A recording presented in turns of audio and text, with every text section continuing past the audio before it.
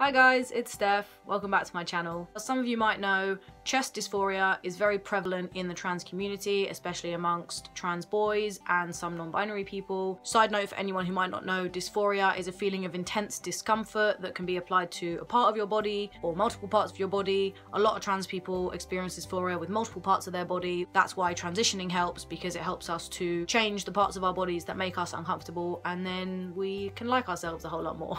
As a trans person that suffers from pretty bad chest dysphoria, I have been binding for about four years now. I'll show you guys my binder. You guys have seen it a million times. I've worn it in videos, but this is what it looks like. So it's uh, a vest and basically about half of it down to about here has this compression material inside and basically just flattens down my chest, gives me the appearance of a more masculine looking chest, which is great. But something I have been experimenting with in the past year or so is KT tape. Got a very festive blue one to show you guys today. KT tape is essentially, usually I think used for sports related things. It's very strong and very adhesive and doesn't really budge. But as I found out about a year ago, it is also sometimes used by trans masculine people to bind. I'm quite lucky, I have quite a small chest, so I figured I would give it a go and see if it worked. Because while I do love my binder, it gets quite tedious sometimes having to wear a whole other layer of clothing under your clothes. I kind of just wanted to do a really quick pros and cons list because I have had people ask me about the KT tape and what it's like to wear. Pros of wearing a binder, it's pretty comfy, it doesn't actually get too achy if you wear it for you know the appropriate amounts of time and don't sleep in it because I have made that mistake before and that does hurt so don't sleep in it. It's pretty discreet as well it doesn't necessarily look very transy. I wear it occasionally just under my shirts with the shirt unbuttoned it just looks like a vest. You can even get ones that are tri-top binders that essentially look like this so it's just a half binder, so you don't even have the vest at the bottom, so it's even more discreet that way. Cons of binding with a binder is they are quite expensive, so getting a hold of them in the first place might be a bit difficult because they're not really sold in loads of places and the places that do do them charge quite a bit for them. Although there is a new UK binder company called Spectrum Outfitters. Pop over to Jake Edwards' channel actually because he did a video about them about three weeks ago and they're apparently going to be quite affordable and quite easy to get a hold of so definitely check them out. A big con of a binder is in summer. It's so fucking hot. You don't understand the pain of when you're out and you just have that binder sweat and it's just stuck to your back.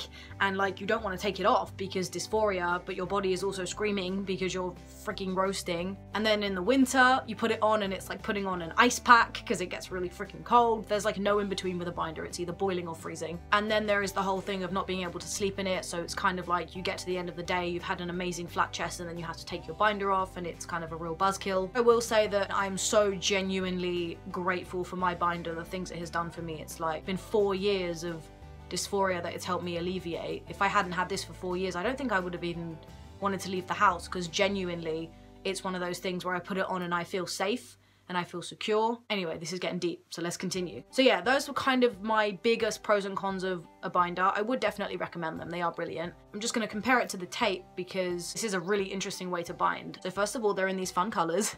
I have pink, black, blue, and like a peach color. The first massive pro of this tape is that it only covers your chest. So there's no need for an extra layer of clothes. I just put this on and then just put on a t-shirt and it's incredible. Like the first time I put it on, that feeling of just feeling cloth, like material on my chest on a night out was incredible. I'd never felt that before. There was always the binder and then my shirt, but I had literally a shirt and then this.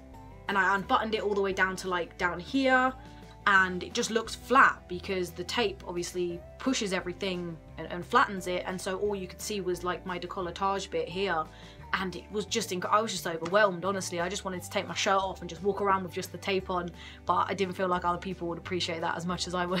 It's very breathable. It's really easy to put on. But there is obviously a downside to everything. And I will say the biggest con of this tape actually is that you do have to kind of accept that it is a tape and it's not like plaster tape it's a lot more coarse and I have come to notice that if you leave it on for a long amount of time, especially if you sleep in it, it does rub your skin and then does sometimes create blisters which can lead to some scarring. I now have some scarring like down here, down my back, and a little bit here on my chest from where I've slept in it, which is a little bit annoying and obviously not ideal. And I did have a lot of people warn me, which I really appreciated. But it's one of those things where you have to take it with a pinch of salt. Everything has pros and cons. It's kind of do the pros outweigh the cons or vice versa. So for me, the pros of this outweighs the cons because of the intense feeling of freedom it gives me. The message I just want to give out with this video is binding and taping both have their cons. I will say that with the taping it's slightly bigger downside in that you can get some skin scarring. So this isn't me advocating for people to go and put it on because I don't want you guys to injure yourselves. But I'm just giving you the information so that you have it and so that you're aware. Like I said, the binders are available on binder websites. There's GC2B, there's Underworks, there is this new one, which is Spectrum. You can also get them on Amazon and other websites, I think, but you just have to do some research. KT tape is available like all over the place. I got mine off Amazon for like a tenner, but I think you can get it in places like Superdrug and like sports stores. So again, just look around for that if that's something you're interested in. I hope this video was somewhat educational or helpful for some of you. Above all else, please be safe with your binding, whichever way you choose to do it.